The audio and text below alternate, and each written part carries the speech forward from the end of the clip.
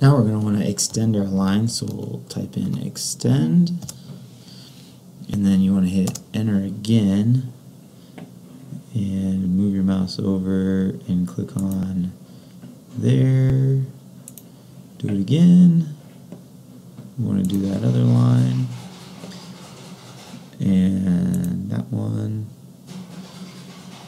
and then we'll do it again, escape.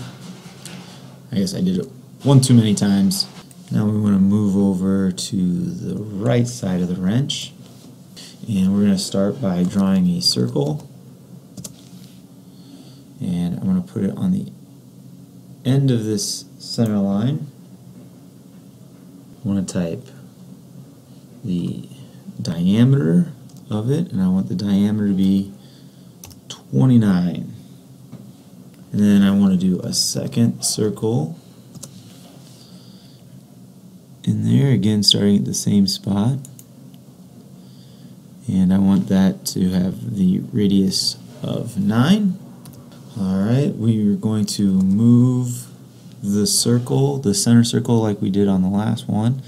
So I type in move, I select the circle, and I want to go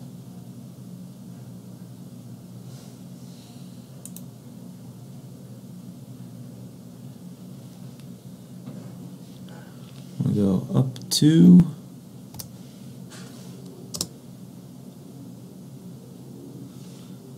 and I want to type move oops move and to the right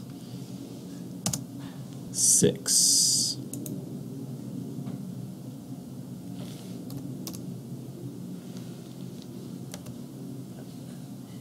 So it should look like that Alright, now we want to do uh, two circles, but we want them tangent, tangent, radius, so I'm going to type TTR. I'm going to hit enter, and I want them tangent from this line and this circle, and we want the radius to be 23.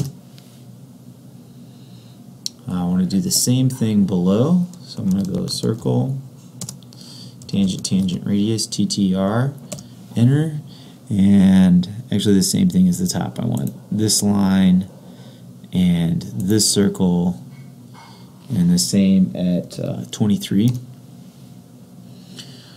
And I want to do something similar on this left side. And tangent, tangent, radius, circle with the radius being 47.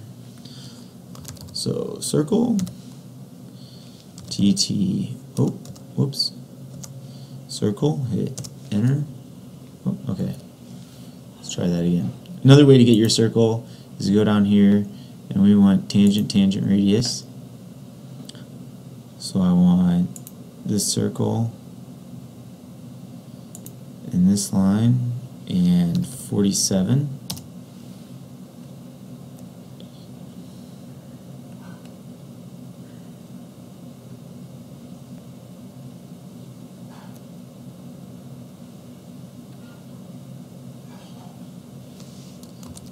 Circle, tangent, tangent, radius, circle, line, 47. This is a good spot to pause and save your work. So let's save this and put it in our AutoCAD folder.